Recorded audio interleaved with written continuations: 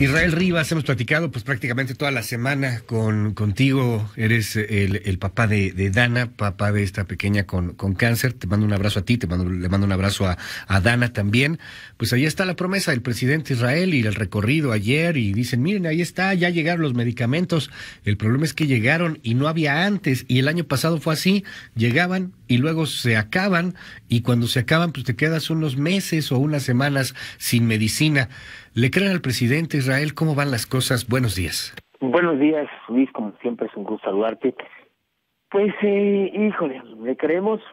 Mira, yo creo que es una buena señal la que la que nos ha enviado eh, al decir que esto no se va a volver a repetir.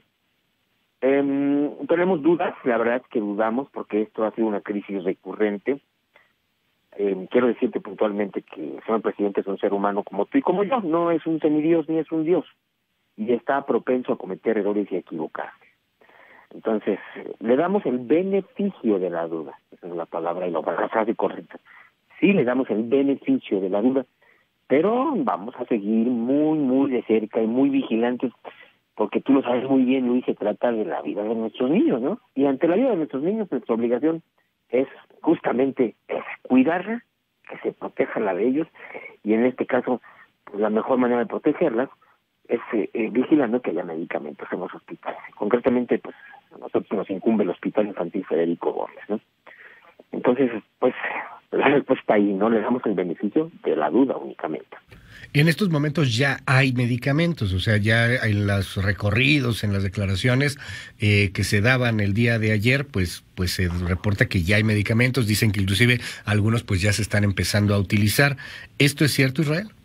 Sí, ayer hablamos con el director de nuestro hospital, el doctor Nieto, muy amablemente nos atendió después de que se fue el secretario de salud, y pues nos dijo, sí, sí, papás, tranquilos, aquí ya llegó para un mes, no se preocupen por un mes, eh, la cosa va a estar tranquila. Entonces, pues bueno, también las autoridades de nuestro hospital, pues, siempre hemos tenido comunicación con ellos y siempre hemos estado atentos a todo lo que pasa y bueno, creo que en este caso, pues creemos en la palabra del doctor Nieto, pero es el mismo asunto, no sabemos, Luis, qué va a seguir sucediendo. Es decir, no, no sabemos qué va a pasar después con este abasto de medicamentos, porque lo mismo tú lo sabes muy bien ha ocurrido en crisis anteriores eh, se, ha hecho, se han hecho promesas, se ha dicho que no va a faltar el medicamento y vuelve a suceder. Estas crisis comenzaron en septiembre, imagínate, septiembre del 2018. Desde septiembre del 2018 tenemos eh, estos tipos de padecimientos, ¿no? Este tipo de, de desabastos eh, o, de, eh, o, o, de intermitencias, como le quieran llamar, ¿verdad? En los medicamentos. Porque dicen, no, no hubo desabastos, solo faltó durante poquito más de 15 días el medicamento. Bueno, pues ¿cómo se le llama eso, no?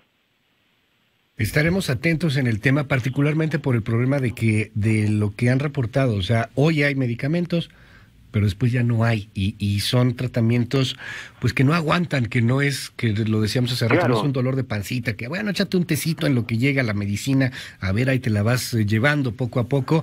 No, si, si suspendes un medicamento, si suspendes un tratamiento, pues, pues afectas muchísimo eh, la posible recuperación, en este caso de, de los pequeños, de los niños, pero pues también de, de muchos otros temas. Sigue habiendo desabasto en, en, otros, eh, en otros puntos, nos están reportando problemas con, con diazepam, por ejemplo, nos están reportando problemas para tratamientos de, de Parkinson, de, de muchas cosas. Eh, Israel, entonces, pues parece que el, el tema no cesa, quizá en estos momentos por el asunto de los medicamentos con eh, eh, para los niños con cáncer, pues ya, ya empieza ahí a haber una luz, pero, pero muy lejos parece que está de resolverse esto.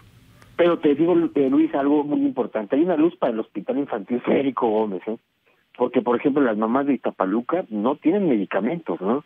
Los de Oaxaca está a punto de acabarse, los de Acapulco no tienen medicamentos, los de Ciudad Juárez tampoco tienen medicamentos, es decir, es el hospital infantil, porque saben que la mayoría de los, voy a utilizar una palabra, revoltosos estamos ahí, pero muchos otros hospitales de de este país no están. Quienes ya se encendió la mecha y van a salir a hacer movilizaciones fuertes es la gente de Itapaluca, porque también están pasando por una situación muy complicada. Ayer las mamás, inclusive, imagínate, se tiraron al cofre del carro del secretario, se le pusieron en medio y le dijeron, señor secretario, vaya ahorita a nuestro hospital.